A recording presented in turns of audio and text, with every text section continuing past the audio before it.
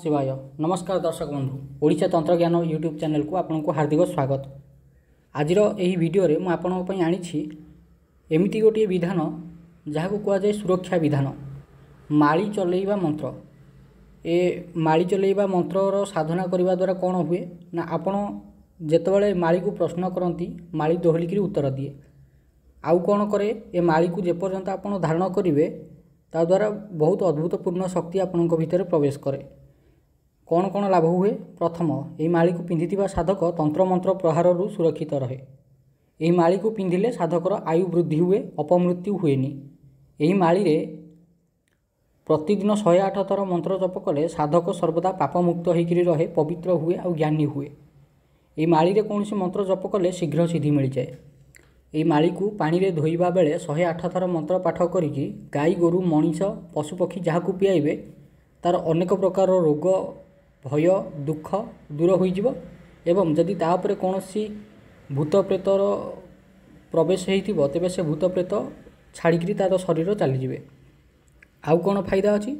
ଏହି ମାଳିକୁ ଧାରଣ କରି ମନ୍ତ୍ର ଜପ କରି ସଭା ସମିତି ଆଦିକୁ ଗଲେ ଯଶ କୀର୍ତ୍ତି ମିଳେ ବିଜୟ ଆପଣଙ୍କ ସପକ୍ଷରେ ରହେ ଲୋକମାନେ ଆପଣଙ୍କ ଅଧୀନରେ ହେଇକିରି ରହନ୍ତି। ଆଉ କ'ଣ ସୁରକ୍ଷା ଆଉ କ'ଣ ମିଳେ ଫାଇଦା? ଏହି ମାଳିକୁ ଧାରଣ କରିଥିବା ସାଧକକୁ ସର୍ପ ପଶୁପକ୍ଷୀଙ୍କର ଦୌରାତ୍ମ୍ୟରୁ ମୁକ୍ତି ମିଳେ। ମାନେ ସାପ କାମୁଡ଼ି କାମୁଡ଼ିବନି ତାକୁ କୌଣସି ପଶୁପକ୍ଷୀ ସେ ବ୍ୟକ୍ତିକୁ ଆଘାତ କରିବେନି। ଆଉ କ'ଣ? ମାଳିକୁ ଧରି ମନ୍ତ୍ର ଜପ କଲେ ଦୁର୍ଗମ ସ୍ଥାନ ଓ ବିପଦ ସମୟରେ କେହି ନା କେହି ସାହାଯ୍ୟ କରିବାକୁ ନିଶ୍ଚୟ ଆସିଯିବେ। ଶେଷ ଫାଇଦା କ'ଣ? ଏଇ ମାଳି ପୂର୍ବ ମନ୍ତ୍ରରେ ମାନେ ଏଇ ମାଳିରେ ଯେଉଁ ମନ୍ତ୍ରଟି କୁହାଯିବ ତାହା ସମସ୍ତ କାମ କରିପାରେ। ତା'ର ପ୍ରୟୋଗ କେମିତି କରିବେ? ମେରୁକୁ ଧରିବେ। ଏଇ ଯେଉଁ ଆପଣ ଲାଲ କଲର୍ର ସୂତା ଦେଖୁଛନ୍ତି।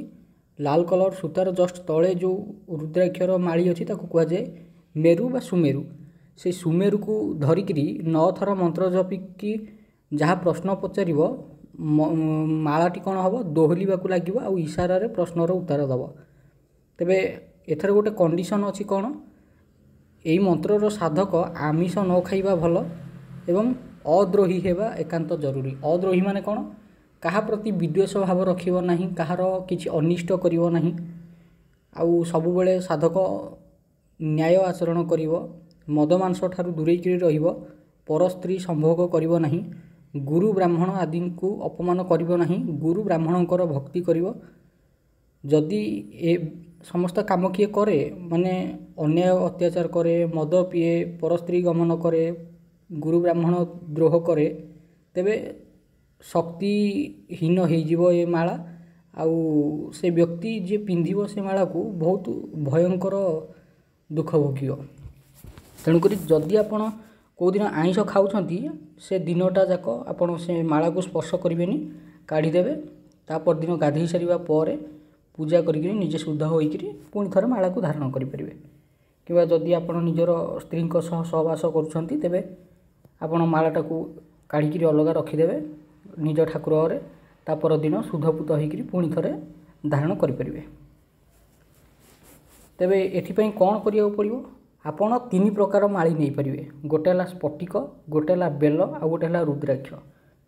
ଏଇ ତିନିଟା ମାଳି ଭିତରୁ ଯେକୌଣସି ମାଳିକୁ ନେବେ ତାକୁ ପଞ୍ଚାମୃତରେ ଧୋଇଦେବେ।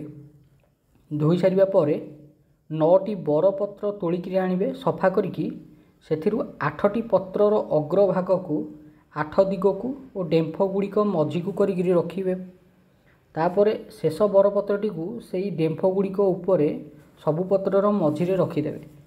ଏବେ କ'ଣ କରିବେ? ମାଳିଟିକୁ ପତ୍ର ଉପରେ ସାପ ପରି କୁଣ୍ଡଳୀ କରି ରଖିବେ ଯେମିତି ସ୍କ୍ରିନ୍ ଉପରେ ଅଛି।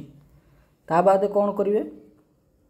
ମାଳିଟିକୁ ଫୁଲ ଲଗେଇବେ ଚନ୍ଦନ ଲଗେଇବେ ସିନ୍ଦୁର ଲଗେଇବେ ଧୂପ ଦୀପ ଦେଖେଇବେ ନୈବେଦ୍ୟ ପ୍ରଦାନ କରିବେ ନୈବେଦ୍ୟ କ'ଣ ପ୍ରଦାନ କରିବେ ନଅଟି ଅଲଗା ଅଲଗା ମିଠାର ଭୋଗ ତାହା ସନ୍ଦେଶ ହେଇପାରେ ରସାବଳି ହେଇପାରେ କ୍ଷୀର ଗଜା ହେଇପାରେ ରସଗୋଲା ହେଇପାରେ ଗୋଲାପଜାମୁ ହେଇପାରେ ଏମିତି ନଅ ପ୍ରକାର ଅଲଗା ଅଲଗା ମିଠାକୁ ଆପଣ ଭୋଗ ଲଗେଇବେ। ଭୋଗ ଲଗେଇ ସାରିଲା ପରେ ଗୋଟେ ମନ୍ତ୍ର ଅଛି ସେ ମନ୍ତ୍ରକୁ ଆପଣ ତିନି ହଜାର ଛଅଶହ ଥର ଜପ କରିବେ। ମାନେ ଟୋଟାଲ୍ ଛତିଶ ମାଳା ଆପଣଙ୍କର ଜପ କରିବାକୁ ପଡ଼ିବ। ଆପଣ ଏ ମନ୍ତ୍ର ଜପକୁ ଗୋଟିଏ ଦିନରେ ସମ୍ପନ୍ନ କରିପାରନ୍ତି ଦୁଇ ଦିନରେ ସମ୍ପନ୍ନ କରିପାରନ୍ତି ତିନି ଦିନରେ ସମ୍ପନ୍ନ କରିପାରନ୍ତି ସାତ ଦିନରେ ସମ୍ପନ୍ନ କରିପାରନ୍ତି କିମ୍ବା ଏକୋଇଶ ଦିନରେ ସମ୍ପନ୍ନ କରିପାରନ୍ତି। ଆପଣଙ୍କ ଇଚ୍ଛା। ମନ୍ତ୍ରଟି କ'ଣ?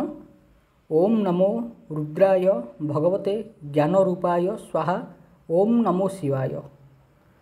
ଭଲ ଭାବରେ ମନ୍ତ୍ରଟି ଶୁଣନ୍ତୁ। ଆଉ ଥରେ କହୁଛି ଓମ୍ ନମୋ ରୁଦ୍ରାୟ ଭଗବତେ ଜ୍ଞାନ ରୂପାୟ ସ୍ୱାହା ଓମ୍ ନମୋ ଶିବାୟ। ଦ୍ୱିତୀୟର ଦ୍ୱିତୀୟ ଥର କହିଲି ଏବେ ଶେଷ ଥର ପାଇଁ କହୁଛି ମନ୍ତ୍ରଟି। ଓମ୍ ନମୋ ରୁଦ୍ରାୟ ଭଗବତେ ଜ୍ଞାନ ରୂପାୟ ସ୍ୱାହା ଓମ୍ ନମୋ ଶିବାୟ। ସେଠି ଆମେ ଓମ୍ ନମୋ ଶିବାୟ କହୁଛୁ ନମଃ ଶିବାୟ କହୁନୁ। ଏତିକି ହେଉଛି ମନ୍ତ୍ରଟି। ମନ୍ତ୍ରକୁ ଆପଣ ଛତିଶ ମାଳା ଜପ କରିବା ଦ୍ୱାରା ସେହି ମାଳାରେ ମନ୍ତ୍ରଟି ସିଦ୍ଧ ହୋଇଯିବ ଜାଗ୍ରତ ହୋଇଯିବ ଆପଣଙ୍କର ମାଳାରେ ଶକ୍ତି ସଞ୍ଚାରିତ ହୋଇଯିବ।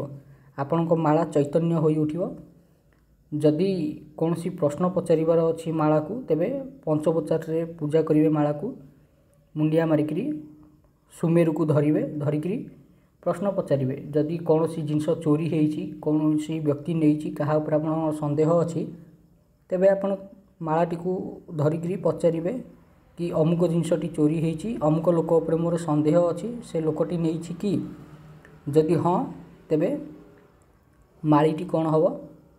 ନା ଦୋହଲିବାକୁ ଲାଗିବ। ଯଦି ମାଳିଟି ସ୍ଥିର ହୋଇଯାଏ ତେବେ ଜାଣିବେ କି ସେ ଲୋକଟି ଚୋରି କରିନାହିଁ। ଆଉ ଗୋଟେ କାମ କରିପାରିବେ ଆପଣ ଏଇ ମାଳାଟାକୁ ଯେହେତୁ ଏଇଟା ସିଦ୍ଧ ମାଳା ତେଣୁକରି ଆପଣ ୟାକୁ ଧାରଣ ମଧ୍ୟ କରିପାରିବେ। କିନ୍ତୁ କଣ୍ଡିସନ୍ ହେଉଛି ଗୋଟିଏ ଧାରଣ କଲେ ଆପଣ ଆଇଁଷ ଖାଇବେନି ପରସ୍ତ୍ରୀ ଗମନ କରିବେ ନାହିଁ ସହବାସ କରିବେ ନାହିଁ ସ୍ତ୍ରୀଙ୍କ ସହ ଗୁରୁ ବ୍ରାହ୍ମଣଙ୍କର ଅପମାନ କରିବେ ନାହିଁ ମଦ ପିଇବେ ନାହିଁ। ଠିକ୍ ଅଛି ଆଜି ପାଇଁ ଭିଡ଼ିଓଟି ଏତିକି ଭାବୁଛି ଆପଣଙ୍କୁ ଭଲ ଲାଗିଥିବ ଭିଡ଼ିଓଟି ବହୁତ ୟୁଜଫୁଲ୍ ଜିନିଷ ଏଇଟା ତନ୍ତ୍ର ଜଗତରେ ଆପଣ ନିଜେ ସୁରକ୍ଷା ମାଳା ନିର୍ମାଣ କରିପାରିବେ ଏହି ବିଧାନରେ ଏ ଯେଉଁ ମାଳାଟା ତିଆରି ହେବ ଏଇଟା ହେଉଛି ସୁରକ୍ଷା ମାଳା ଯେକୌଣସି ସାଧନା କରିବା ସମୟରେ ଆପଣ ଏ ମାଳାଟାକୁ ଧାରଣ କରିବା ମାତ୍ରକେ କୌଣସି ଆସୁରିକ ଶକ୍ତି କୌଣସି ନକାରାତ୍ମକ ଶକ୍ତି ଆପଣଙ୍କୁ ସ୍ପର୍ଶ କରିପାରିବେ ନାହିଁ। ଆପଣଙ୍କର କୌଣସି ଅନିଷ୍ଟ କରିପାରିବେ ନାହିଁ। ଯେତେବେଳେ ଅପ୍ସରା ସାଧନା କରାଯାଏ ଯକ୍ଷିଣୀ ସାଧନା କରାଯାଏ ସେତେବେଳେ। ସୁରକ୍ଷା ମାଳା ପିନ୍ଧିବାର ବିଧାନ ରହିଛି। ତେବେ ଏଇଭଳି ସୁରକ୍ଷା ମାଳା ତିଆରି କରାହୁଏ। ଯେତେବେଳେ ଭୂତ ପ୍ରେତ ଗନ୍ଧର୍ବ ରାକ୍ଷସ କିନ୍ନର ନାଗ ଅପ୍ସରା ଯକ୍ଷିଣୀ ଏମାନଙ୍କର ସାଧନା କରାଯାଏ। ଏହି ମନ୍ତ୍ରରେ ହିଁ ଅଭିମନ୍ତ୍ରିତ କରିକିରି ସିଦ୍ଧ କରିକିରି ମାଳାଟିକୁ ଗଳାରେ ଧାରଣ କରାଯାଏ। ତେବେ ଆଜି ପାଇଁ ଭିଡ଼ିଓଟି ଏତିକି। ଯଦି ଆପଣଙ୍କୁ ଭିଡ଼ିଓଟି ଭଲ ଲାଗିଛି ଆପଣ ଆମ ଚ୍ୟାନେଲକୁ ସବସ୍କ୍ରାଇବ୍ କରନ୍ତୁ। ଧନ୍ୟବାଦ।